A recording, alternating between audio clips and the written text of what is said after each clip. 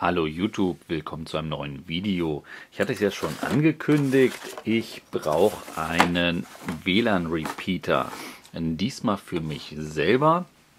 Ähm, ich habe mich jetzt hier für einen Huawei WS320 entschieden. Das ist somit der günstigste WLAN-Repeater, den man auf YouTube, äh, auf, ähm, bei Amazon kriegen kann. Ähm, WPS-Knopf ist dabei, N wird unterstützt. So, Warum will ich so ein Ding überhaupt? Weil ich wohne ja ziemlich nah am Park und ich habe mir jetzt gedacht, Verlängerungskabel, das Ding auf dem Balkon einstecken und mal gucken, ob ich damit nicht bis im Park komme.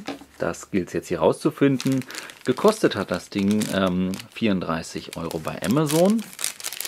Ähm, es hätte wahrscheinlich für meinen Bedarf wäre es wohl besser gewesen, so eine so eine WLAN-Box von D-Link zu kaufen. Mit, äh, ich glaube, die hat noch drei Antennen und was nicht alles. Die wirkt wahrscheinlich vielversprechender als hier so ein kleines Senderding.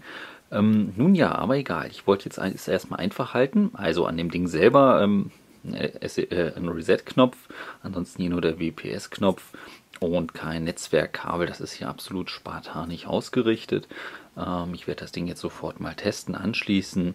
Einfach die WLAN-Taste, die WPS-Taste am Router drücken, dann hier den Knopf gedrückt halten und dann sollten sich die beiden finden. Und ich melde mich dann hoffentlich gleich aus dem Park sitzend. Bis denne.